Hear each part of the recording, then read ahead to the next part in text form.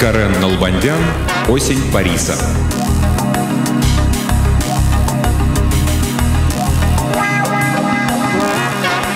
Парис сидел на каменной скамье у своего дома.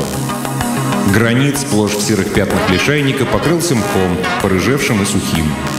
Небо было по-осеннему пронзительно голубым, по-осеннему мягко грело солнце, лаская выжженную за лето растрескавшуюся землю. Воздух всего месяц назад, пыльный, горячий, напитанный настоем ароматов разогретых горных трав и пота, был чист и прохладен. Ни единого звука не разносилось в нем в этот ранний час. Только где-то вдалеке, в наступившей пустоте, тихо звенел родник. Был именно тот день, который ясно отделяет лето от осени. Первый день ранней осени. Осень была на душе у Париса. А как хорошо сейчас в лесу. Лечь на спину и смотреть, смотреть в небо, где лишь изредка раздается клёкот ястреба. Удивительно. Приятен этот звук, но как боится его лесной народ. Так и с человеком. Каждому свое. Когда же я был в лесу последний раз?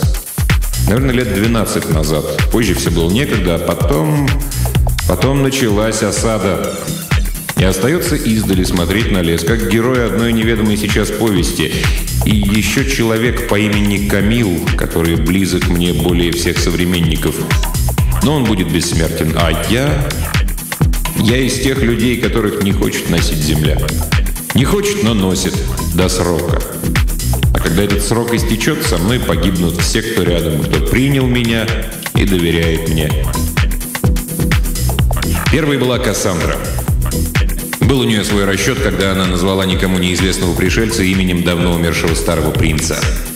Не было тогда в городе человека, который не поверил бы слову жрицы Аполлона. Не то, что теперь. Слишком поздно поняла сестричка, что бывают люди, с которыми нельзя заигрывать. Став наследником, я не хотел быть ставленником коллегии. Конечно, в тот день она спасла меня, но первым-то мог быть только один.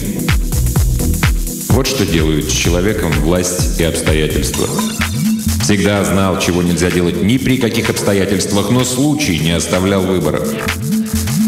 А все началось раньше, по иронии судьбы, в тот день, когда был зачат Ахил непобедимый. Да, неудачным стал для Трои тот летний день. Я тогда еще просто Александр, сидел в тени, а разомлевшее от жары стадо паслось рядом на склоне Иды. Вдруг они появились прямо передо мной. Три богини и Гермес с яблоком, которые позже назовут яблоком раздора. Не было в нем ничего сверхъестественного. Яблоко как яблоко. Аппетитное, большое, красное. И на боку четко виднелось торопливо процарапанное «прекраснейший». Помнится, подумалось озорно. Да и съесть самому. Парис был не первым и не последним человеком, в чьей жизни яблоки сыграли роковую роль. Еще бедняга Адам расплатился за излишнюю любовь к фруктам из чужого сада суровой ссылкой на землю. «Сегодня они едят яблоки из моего сада, завтра до меня доберутся», должно быть, решил Господь. А на память об обжорстве первого на свете мужчины его потомки прячут под галстуком острый угол щитовидного хряща, более известный под названием «Адамово яблоко». Прямо в яблочко, лежащее вот в чем загвоздка на голове у родного сына, всадил арбалетную стрелу Вильгельм Тель, а другое яблоко, свалившись на голову Исаака Ньютона, сбило его с размышления о лондонской чуме на закон всемирного тяготения. Закон, который сполна испытал на своей шкуре Геракл, поддерживая небесный свод вместо атласа, добывавшего яблоки с той же яблони, что и фрукт трех богинь. Вполне возможно, что именно этот вклад яблок в науку навел группу молодых людей на мысль назвать фруктовым названием фирму Apple Macintosh. И другая молодая группа тоже выбрала своим символом яблоко и стала легендой 60-х. Битлз пришли к вершине славы, но не выдержали испытания ею. А город Нью-Йорк назвали большим яблоком не Лаки Лучано или легендарный Дон Корлеоне, которые вправду делили его как большое аппетитное яблоко. Это название дали городу заезжие джаз-банды. Бывало, яблоками травили. Так, первое известное в истории отравление совершила древняя королева, разрезавшая яблоко для своей молодой конкурентки ножиком, смазанным с одной стороны ядом. Быть может, именно эту историю использовал Пушкин при написании сказки о мертвой царевне. История повторилась в виде фарса, когда повар Джорджа Вашингтона попытался отравить президента золотым яблоком, помидором, с соответствующим результатом. И уже возвращаясь к нашей истории, вспомним, что знаменитая Венера Милосская держала в одной из утраченных рук яблоко. То самое.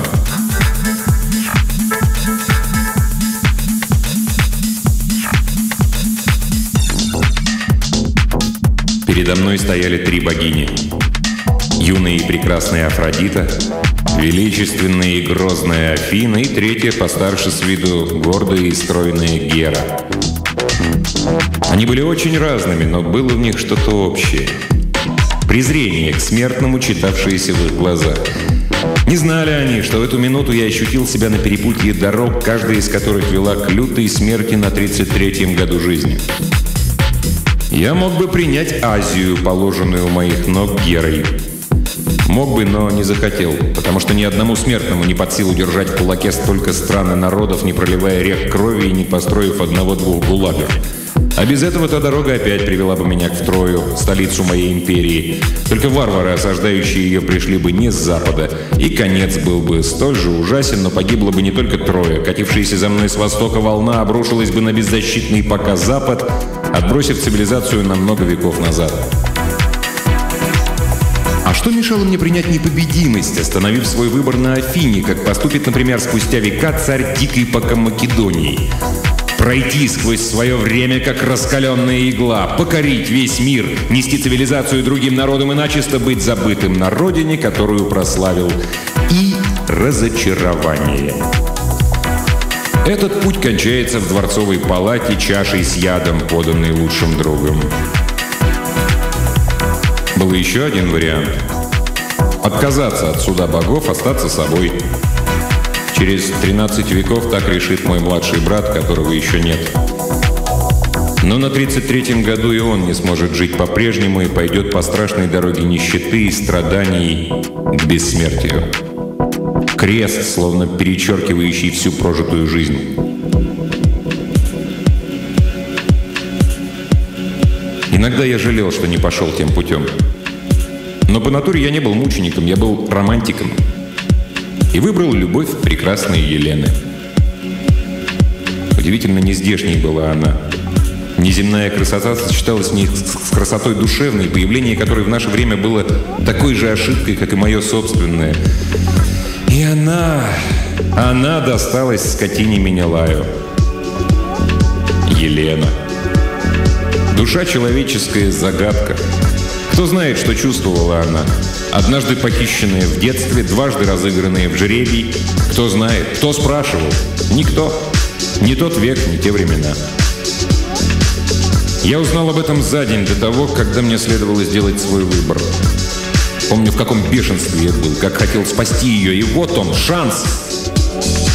Никогда не забуду той ярости, с которой посмотрела на меня Гера, той короткой молнией, которая сверкнула в непроницаемом взгляде Афины Паллады, когда было произнесено слово «Афродите».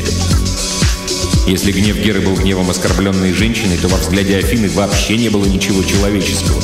В нем ясно читался смертный приговор. Затем они исчезли. Последним Гермес, бросив на меня странный, соболезнующий, понимающий взгляд. И все стало так, как было пять минут назад. И жара, и навозные мухи, и лениво жующее стадо, и мощный хор цикад. Все оставалось по-прежнему, но я выбрал свою судьбу. Впереди, я знал, были самые веселые годы моей жизни, годы торжества разума, когда силой разума я одержу победу в борьбе с сильнейшими мужами Трои, когда буду строить первый троянский корабль, прообразом которого стала Кати Сарк, корабль-птица, когда совершу на нем путешествие, аналогов которому в мое время нет и которое будет настолько неправдоподобным, что ни один летописец не расскажет о нем, боясь прослыть лжецом.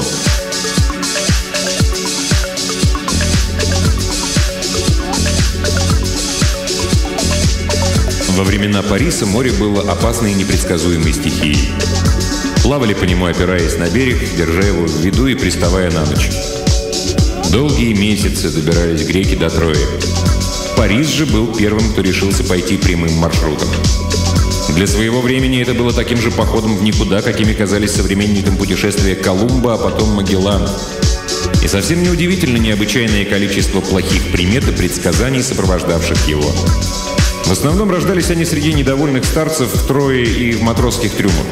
Кстати, интересно знать, каким способом нашел Парис команду для своего корабля. Португальскому королю Энрике Мореплавателю пришлось для этого запастись как минимум папским отпущением грехов на всю команду. Само же путешествие было спокойным и быстрым.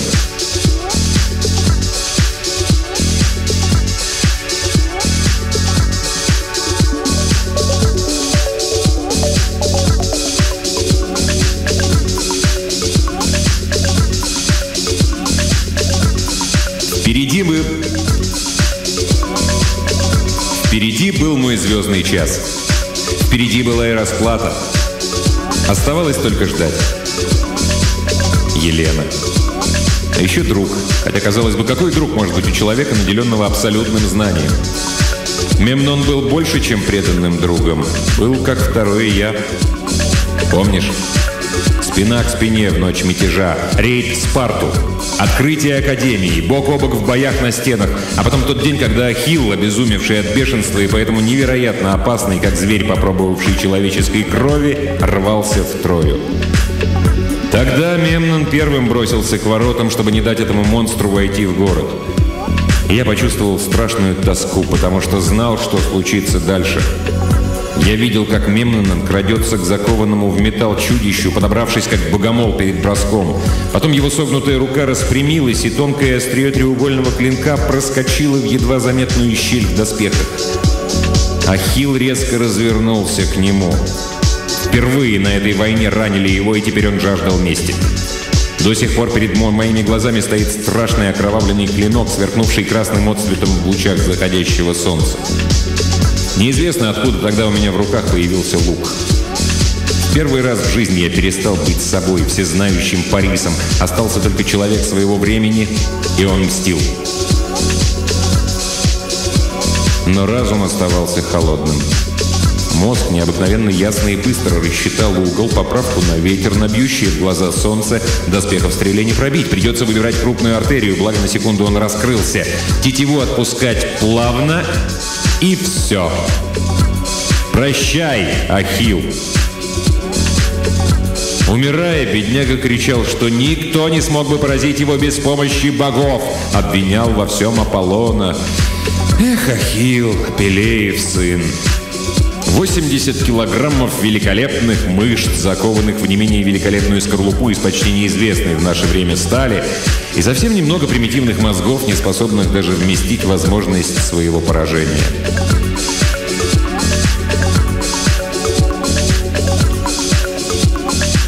Не стоит забывать, что вся эта история происходила еще в бронзовом веке. Железо, притом весьма дурного качества, добывали в немногих странах примитивным сыродутным путем, и ценилось оно на вес золота. Лишь очень редко кузнецам попадало почти химически чистое метеоритное железо. Так появились знаменитые доспехи Ахилла, а с ними легенда о его неуязвимости. Современникам, привыкшим к тусклой бронзе, сталь должна была казаться ослепительно блестящей. А что касается прочности, Умный опытный боец Гектор в поединке с Ахиллом сделал ставку на удар, которым он не раз пробивал и щиты, и доспехи. Он никогда бы не решился расстаться с копьем, если бы не знал твердо, что этим броском ставит последнюю точку. Но технический прогресс был на стороне Грека, и Гектор проиграл.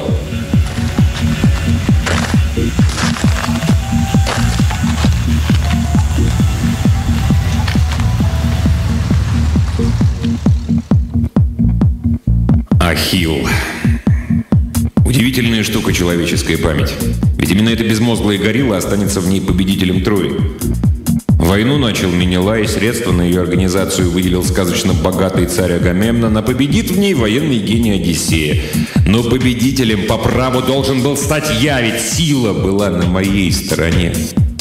А вот судьба против. И я погибну. Когда? Сегодня незамедлительно пришел ответ. Бориса вдруг задрожали ноги. Его охватил звериный страх, безумное желание бежать, скрыться. До него неожиданно дошел смысл этого слова во всем его великолепном значении. Где бы я ни был, что бы я ни делал от заката, я не доживу. Завтра все будет так же, но вот меня больше не будет. От этой мысли все его тело напряглось в рефлекторном животном крике «Не хочу!» Огромным усилием Парис собрался и вырвал из себя страх. Одним движением, как вырывают гнилой зуб. Он несколько раз глубоко вздохнул, чтобы унять противную дрожь. Страх пропал. Осталась лишь тоска. Смерть чем-то сродни сну, только больнее. Одно дело знать, что будет новый день, и совсем другое дело, когда сознание гаснет навсегда. Нет надежды. Эту мысль сменила другая. А как будут рады троянцы? Ненавистный, страшный, пугающий своей непонятностью принц Парис наконец погибнет. «Дети», — усмехнулся он, — «будут радоваться, и никто не вспомнит, что именно благодаря мне трое легко переносит десятый год осады. Стены, спроектированные мной, неприступны. Стратегия почти непобедима. Благодаря нашей дипломатии со всех концов света к нам идут союзники. Греческие шпионы не успевают пройтись по городу и трех минут, а мои сеют рознь в лагере греков, еще больше ослабляя их. Но держится здесь все только на мне. И стоит мне погибнуть, как они немедленно перегрызутся с соседями и сдадут всех шпионов грекам, чтобы не пришлось платить. Что ж, я не настолько глуп, чтобы считать, что мне удастся победить их вековые предрассудки и суеверия. А царь Приам ненавидит меня сильнее остальных, забыв о том, как во времена его детства одна дружина греков сходу взяла Трою. Забыл. Но пока я жив, город будет стоять наперекор всем. И людям, и богам. От грустных мыслей Париса отвлек прибежавший раб. Немного отдышавшись, он сказал «Господин, Лаокаон просит тебя прийти в храм. Принесли раненых». «Скажи, сейчас буду». Раб убежал. Парис неторопливо встал и зашагал к храму Аполлона, где находился госпиталь.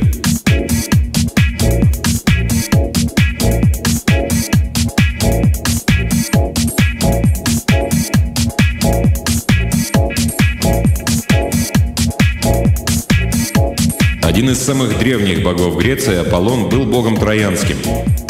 Бог света и культуры, бог путешествий. Его культ, как никакой другой, подходил Парису. Недаром все его действия были так тесно связаны с этим богом. Да и на культе Аполлона мы чувствуем отпечаток, который наложила на него личность Париса. Аполлон, как и Парис, охранял стада и предсказывал будущее. Жрецами Аполлона Парис назначил умных, преданных людей, таких как Лаокаон. А еще Аполлон был богом-врачевателем. Врачом был и его сын Асклепий. Недаром клятва Гиппократа начинается словами «Клянусь Аполлоном, целителем, Гией и Панагией». Парис осматривал раненых. Там, где он проходил, раненым становилось легче дышать, появлялась надежда. Всего несколькими словами он мог вселить бодрость в усталого, волю в жизнь, вздавшегося дать силу слабому. Казалось, перед ним отступала сама смерть, но иногда он проигрывал. Я знаю, что нужно, чтобы лечить их, но у меня ничего нет. Легче всего было бы приучить жрецов к правилам антисептики. Для них это просто еще один ритуал. Удалось наладить и сортировку раненых, элементарную истину военной медицины. Жестокими, воистину драконовскими методами заставить жителей осажденного города выполнять требования гигиены. Это я молодец. Можно вправить вывих, зафиксировать перелом, обработать рану, сделать несложную операцию. Наркоз молотком по голове. Фу.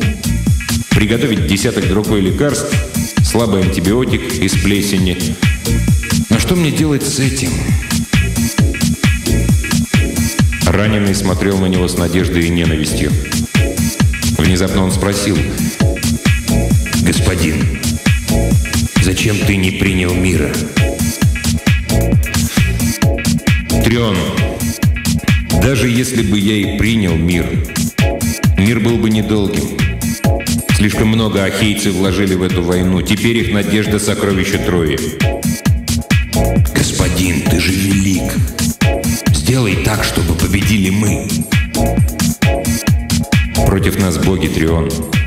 Что бы я ни сделал, это лишь ускорит наше падение. Терпеливо, как ребенку объяснял Парис. Зря это я. Зачем? Не подумал.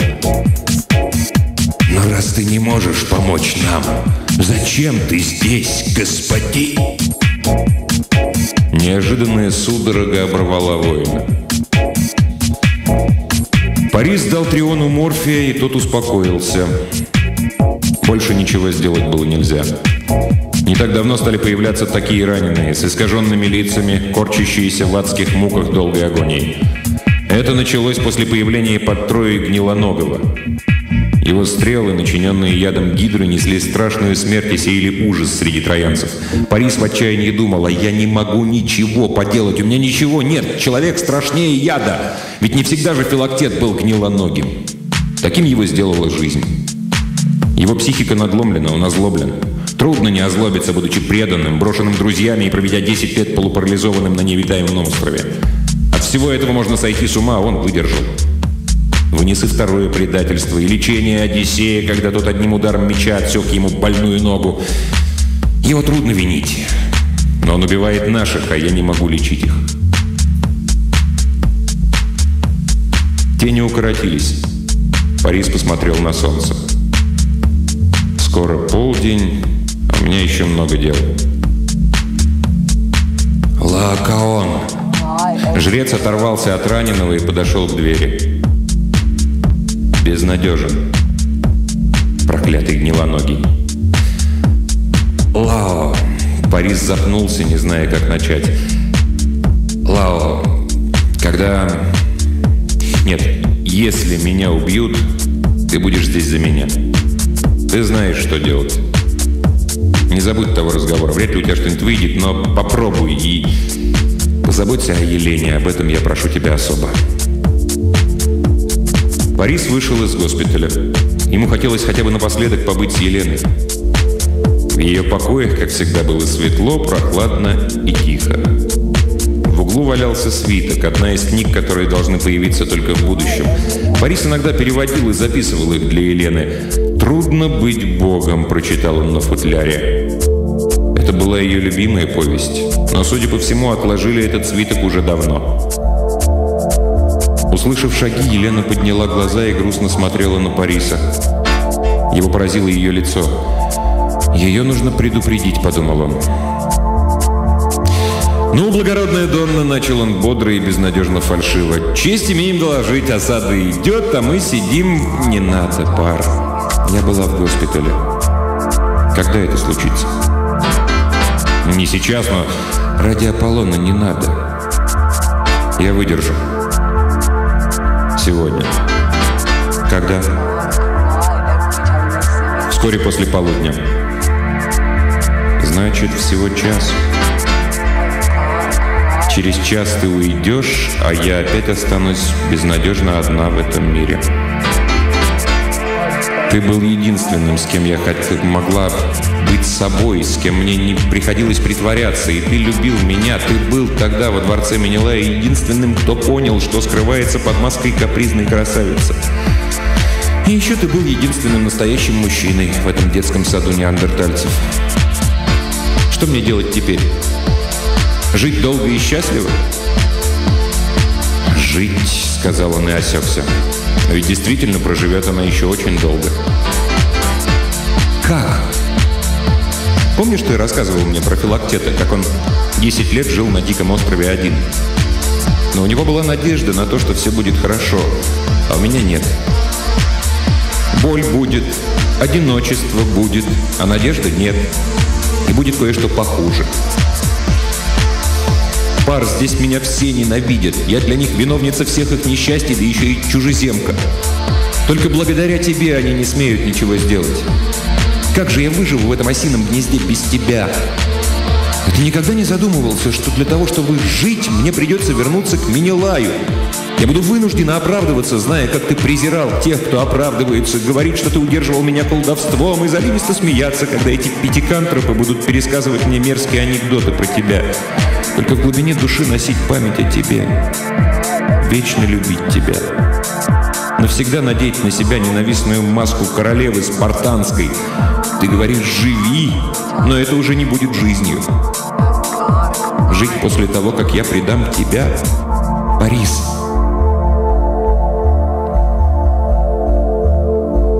Борис не мог, не хотел вспоминать следующие полчаса. Думать о том, что он больше никогда не увидит Елену, нет, нельзя.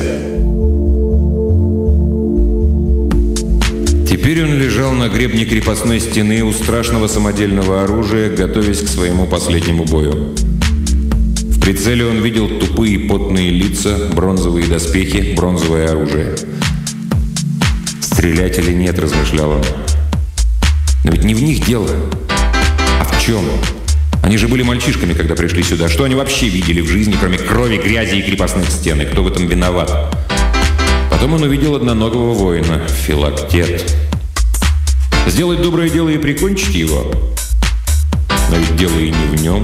Его стрелы возьмет кто-нибудь еще, и все же... Палец его застыл на гашетке. Париса поразила новая мысль. Зачем? Зачем еще жертвы? Вот тот воин в будущем, он расскажет о нас. Им будут зачитываться и через сотни, и через тысячи лет. Кажется, его зовут Гомером. В сущности, это дети, пусть грязные и жестокие, но вырастет из них одна из самых прекрасных цивилизаций в мире.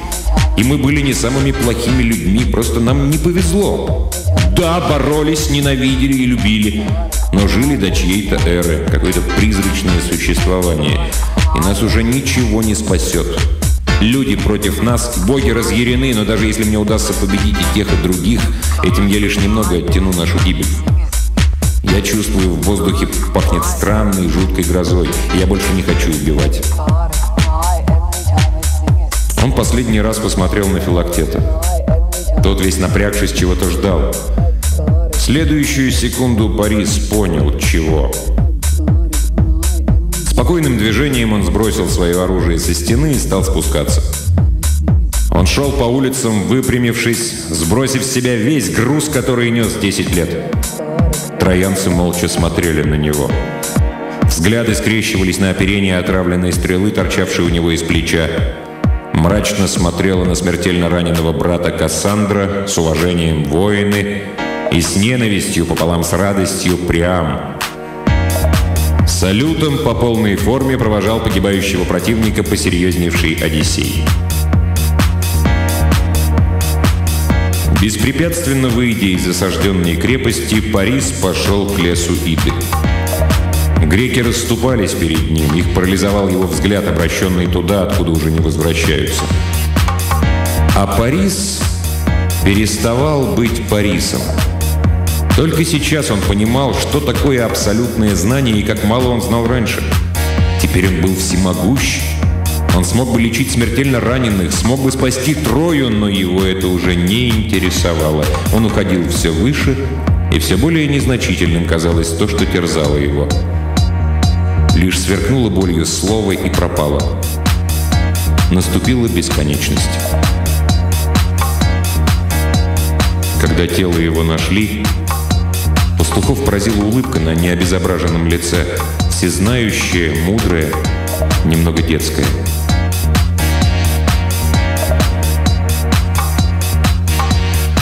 А что было дальше? Да, в общем-то, ничего. Трою взяли довольно быстро. Благое намерение жреца Лаокаона осталось благим намерением. Как только его разоблачения стали достаточно опасными, а доказательства обоснованными, его с двумя сыновьями обнаружили на берегу с явными следами смерти от асфиксии.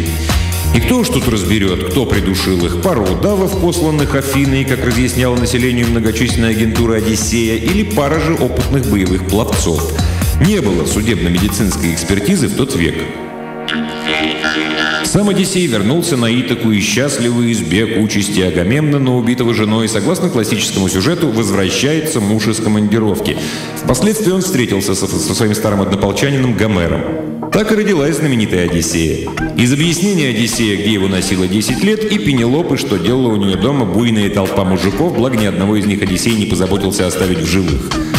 Сам же он жил долго и достаточно счастливо, пока не был убит собственным сыном во время пиратского налета, совершенного Одиссеем по причине плохих штурманских способностей на родной остров. Елена не забыла того, чему научилась за годы жизни с Парисом. Эта сильная, умная женщина точно освоила тот принцип троянского принца, который гласил, что каждый человек сам определяет свою судьбу.